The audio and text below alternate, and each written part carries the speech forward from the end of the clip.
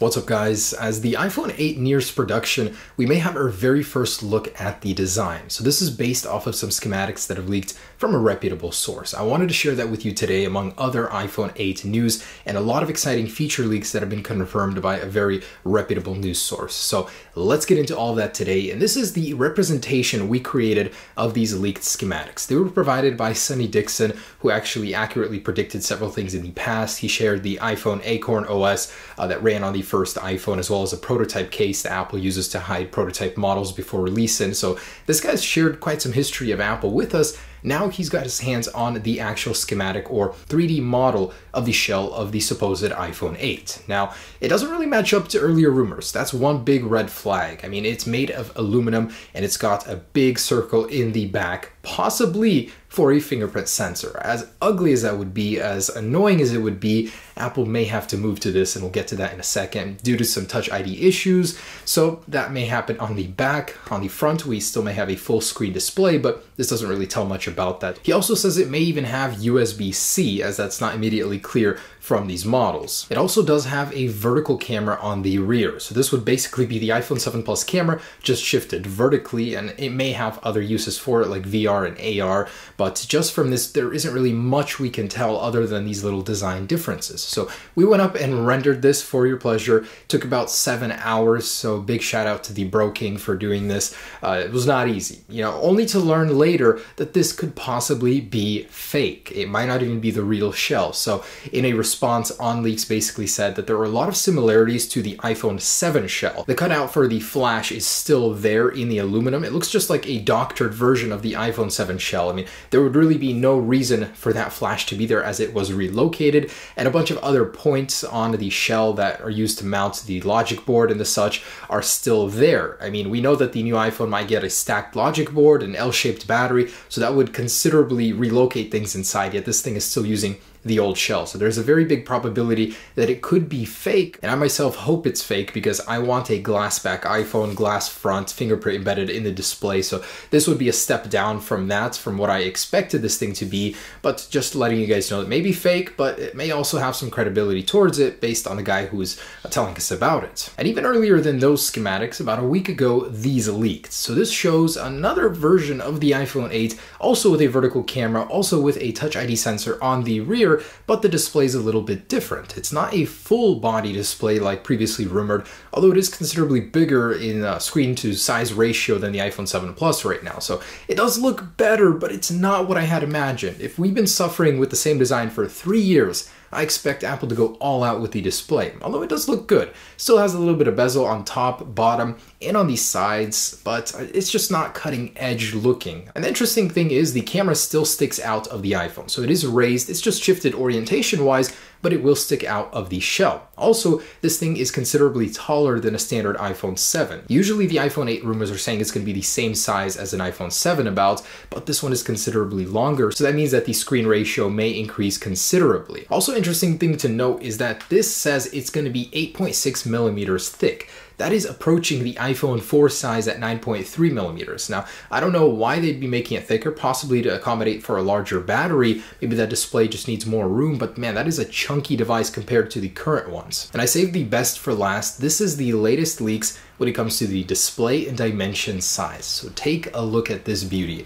If this was what it actually was, it would be stunning. It's a full face display that is curved around the edges and actually accommodates for an earpiece inside of that display. Due to it being an organic LED display, you can actually cut out shapes and shape the organic LEDs around it, unlike an LCD, which has to be square in most applications. So that is certainly beautiful. And the actual leak notes say that it accommodates for a camera underneath the display as well as all of these sensors, so those will be invisible. Now we didn't put an earpiece on our design, so ignore that, uh, but there probably will be one in the final design. I'm just saying, this thing looks absolutely stunning. If that ends up looking like this, wow, Apple's got a winner on their hands. And some more not so great news. A Pacific Crest analyst is saying that the iPhone 8 may likely not come with Touch ID at all, that Apple is considering one of two options for the iPhone 8. You know, since they're having this bottleneck with Touch ID, they might not even get it in for the iPhone. They might have to do one of two things, you know, delay the release by another month. So he says they have about a month to decide if they can fix this and get it into the iPhone in time before production or to completely eliminate it and instead completely rely on 3D facial scanning and iris recognition. He says, although this technology is young, you know, it's still fairly reliable. In the dark, it works, but still the convenience factor of having to raise your phone to your face every single time to unlock it versus just putting the passcode in uh, with whatever passcode you have on display, is pretty low. I would much, much rather have Touch ID where I could just touch it real quick without looking at it, without doing anything, and it's already open. You know, just in my opinion, I would much rather have Touch ID. So I hope this guy is wrong, but he's saying Apple will likely not have Touch ID whatsoever or delay the release of the iPhone to get that into the display. He doesn't even mention the third option, the other analyst said that you could put it on the back of the phone. So, you know, that's what may happen with the Touch ID situation right now. From the news source that brought you these drawings leaked by a Foxconn employee that drew them after handling or seeing the prototype of the iPhone 8, they just released a new report on the iPhone 8 about some features it may have. It's the usual a flat display, 2.5D curved glass around the edges, organic LED display, glass design, you know,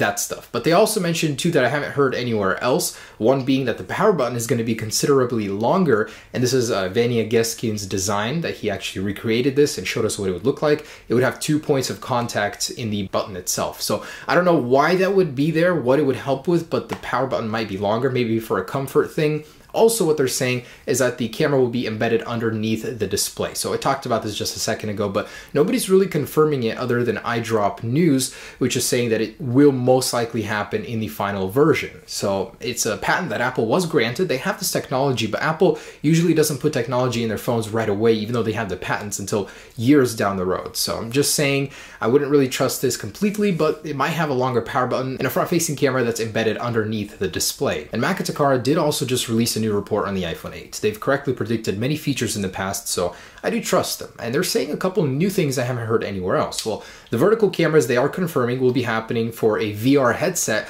that will be coming with the iPhone 8 as a separate accessory possibly, and the finish on the outside, aside from the glass, will be made of stainless steel, in particular the one on the Apple Watch. So it'll be a very similar finish, but an improved version. In what way? They didn't say, probably for scratches, but I think it would look nice, very similar to the iPhone 4 and 4S style, although those aren't as polished. I'd say, you know, it does look all right. I mean, look at this thing though, after years and years of abuse, the iPod Touch completely scratched. And when this thing came out, it was a mirror sheen. So I hope Apple doesn't go this way, but has a more durable version. And in the very same report, Macotakara is claiming that the iPhone 7s and 7s Plus, which will be shipping alongside the iPhone edition, the budget end models, will actually be thicker or slightly thicker than the iPhone 7 and 7 Plus. So they're saying they don't know why, but it would be likely it wouldn't fit the same accessories and cases as the iPhone 7 and 7 Plus. So I think it's a very smart move on Apple's end. For one, they could stick a thicker battery in the same design, but two, they could also sell you new accessories, make a bunch of money selling you cases and new products that suddenly don't fit because of a couple small changes on the design. But overall, they're saying the design will stay the same. It'll look very similar to the 7 and 7 Plus. And Bloomberg just dropped a massive report on the iPhone edition. What they're saying will happen later this year. And I was very excited to hear is because they're usually right with these things in the past. So what they're saying is that the iPhone 8 coming later this year will indeed have a massive display that'll cover most of the front of the phone.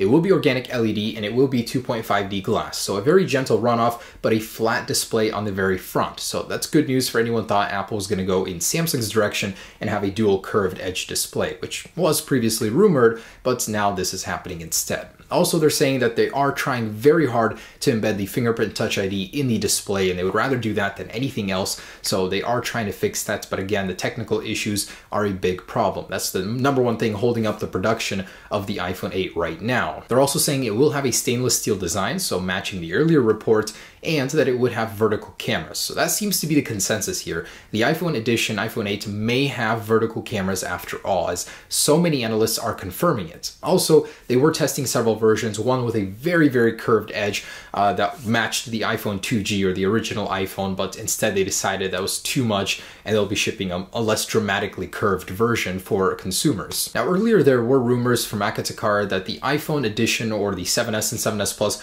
would not be shipping with a 3.5 millimeter headphone jack adapter in the box. Now a new report from Barclays is saying that's wrong, and it will be shipping at least until 2018. After then, Apple may drop it, but Apple still wants to help you get along with the conversion from analog to Bluetooth with this adapter coming in all iPhone boxes later this year. And Apple is already reportedly moving past organic LED displays as they're working on micro LED displays for the Apple Watch 3, beginning production later this month and supposed to be shipping alongside the iPhone 8 later this year. So micro LED has several benefits to OLED, being thinner, possibly in some applications, more efficient and longer lasting as the structure is different. So in almost every single way, it is better than organic LED, but making it is a giant pain as the term micro LED, these things are very, very tiny LEDs stacked in a completely different way than traditional. So it's going to take some time to implement it, but this is supposedly the first step before it goes to iPhones. Just like organic LED is in the Apple Watch right now, it's going to make its way to the Apple Watch 3 and eventually future iPhones after that, as in the past it was rumored Apple is definitely going to micro LED after organic LED. And lastly, I just wanted to mention something interesting. Your next iPhone may be made out of completely recycled materials. Not this one, but the one after the 2017 iPhone, as Apple is actually committed today to building all of their products out of completely recycled metals such as tin, uh, tungsten, aluminum, among other things. So they said themselves they don't know fully how they're going to do it, but they are committed to doing it. Now that doesn't mean a worse quality iPhone, it just means a more environmentally sustainable one where you don't have to mine the metals out of the earth. But anyways guys, that is the latest on the iPhone 8 right now on the iPhone 7s and 7s Plus. So I hope you guys enjoyed our updated concept. If you want to follow us on the latest updates on those, follow us on the Instagram down below in the description and stay tuned for more iPhone rumors as uh, they do come out. There's going to be a lot more coming as we're nearing the release date coming later in September this year. All right, guys, hope you enjoyed the video. Peace.